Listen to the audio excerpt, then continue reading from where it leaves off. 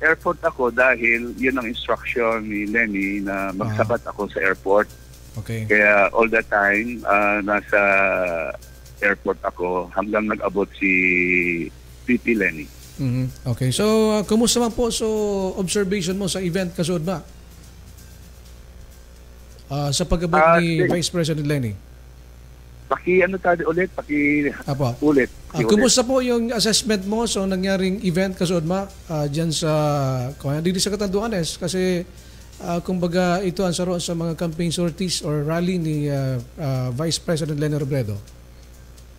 Well, uh, namomonitor ko lang naman through Facebook Mm. ah, yung sa Plaza Rizal, yung mga VP Solid Lenny Bicol supporters, Aha. uh, nagkaigawa ng programa.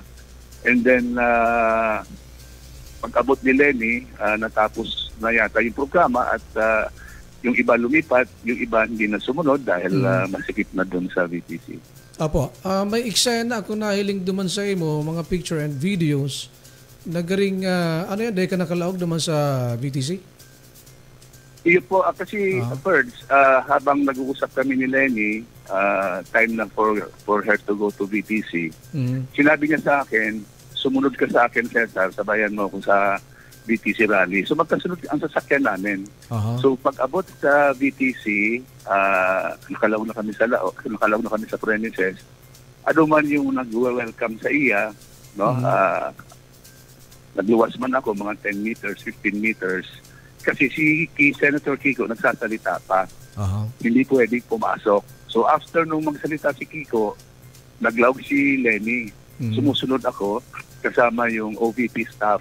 And hinarang ako ng ano, ng ah, Mm. apat na gwardiya. So, day na ako nakalaog. Sabi ko, bata tadi ako pwede maglaog eh, bahan ko si Lenny. Aha. Well, sir, utos, sir, utos. Kaninong utos? Basta utos, sir. So, Ko- ah, ay, yun, and, ah, kampante lang naman ako. Ah, so, naghahalat ako na Mhm. so OVP na naghali papunta duman sa laog hoping na magbalik din na mag, nagbalik. So, Mhm. naka-standby lang ako duman sa duman sa luwas, nahiling man sa mga pictures. And Ah. ah, talagang bodily, they refused na makalaog ako ah.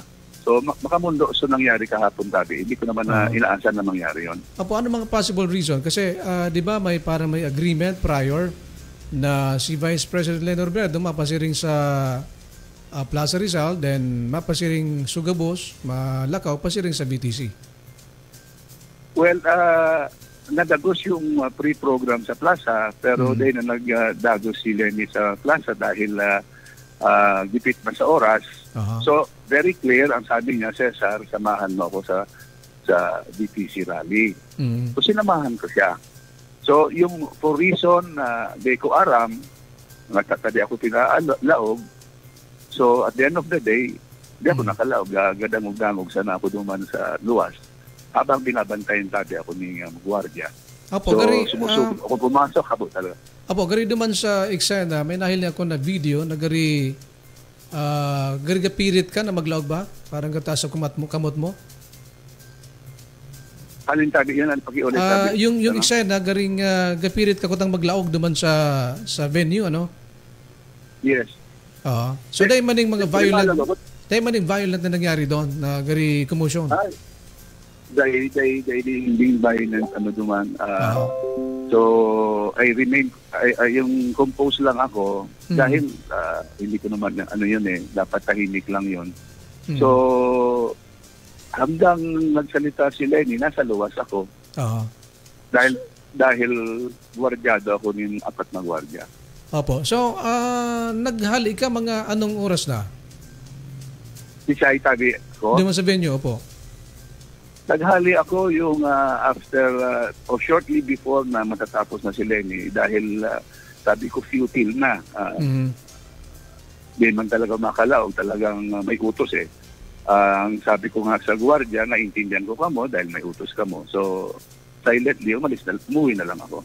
Opo. So anong ah, pagbati mo na araw kayo nung garing na-deprive ka na makalaog duman sa area although uh, di ko alam sa mga nangyari dyan ah, may mga ah, consideration kayo prior parang arrangement kasi may separate pa ano na venue duman sa Plaza Rizal uh, natata din na settle for at least one venue na na-accommodate gabos. Well, uh, siyempre, uh, dita aram yan. Basta, i, ano na lang nita first na after na masabat ko si Lenny, I, I was asked to join her. Kaya sumunod ako. Dahil di na mapunta duman sa plaza dahil for lack of material time. So, Mm. anyway, ang sa kuyang masasabi yan, happy ako dahil sa pangapudan ko baka ito na all local candidates na magsuporta kay Lenny. So, naugma ako na, na si Governor Kua nag uh, taon suporta kay Lenny. Mhm. So, ah, sa bagay na yan, maugma ako ah, na, na nagtaon ng suporta kay Lenny si Governor ah, Kua. Oh, and uh, yung LMP, uh, sabi ni uh, uh, LMP President, no, uh, Mayor Kuwa, no, Mayor Busti Kuwa, nag uh, sabi mo naman in support yung mga mayors in support of uh, VP Lenny. Pira pong mayors ang uh, supporting kay uh, VP Lenny? Ah, kung anong mayors, hindi ko alam dahil hindi Ah, ako sige. nakapasok Ah, first, okay. hindi ko nakita. Sige po, in spite Oo. the fact kay ni medyo uh, anong masabi mo duman sa uh, sa sitwasyon at, at least Governor Kuwa kung uh, siya man nasa likod kay ni although sabi mo medyo at least uh, nag-pledge of support then sa mga other local officials pero anong mensahe mo sa iya sa nangyari duman sa eksena? Well, uh, since it's a people's rally, Mm. rally for Lenny, sana i-welcome ka, boss. Kaliyon mo na lang ako. Ah, kaya nga nag-imbita baga, wala ko nga rin yung masasakyan na pigpalibot sa buong Catanduanes Mm. para maka, maka attend kay Lenny. So, kamumundo lang na ako, dating former congressman, Mm. supporter ni Lenny.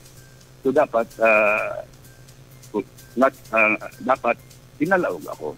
So, Mhm. kamumundo lang. But at the end of the day, happy naman ako ta ah, yung ah, local si Governor Kua and his group eh, nagpaabot ng, ah, nagpahiling ng suporta kay ah, Lenny para ma-ensure ang ah, dakulang kapangganahan ni Mhm. VP Lenny hindi sa Katanduanes. Opo. Sige tabi uh, Kong, thank you so much po. Unless may uh, mensahe ka sa mga supporters mo din. Well, ah, ganito lang ang masasabi ko, uh, nap napakaswerte natin, uh, pinagbigyan kita, nakahanap ng oras si VP Lenny para makita tayo, ah, mapakiusapan tayo na magkaisa. so, ang sa kuyang masasabi, ah, magkasararo kita, ngani magkaigwa kita ng uh, presidenteng haling taga Bicol kasi hindi kita pababayaan ni Lenny pag siya naging presidente. So yan siya lang masasabi ko, Tabi Fred. Opo. Thank you and good morning.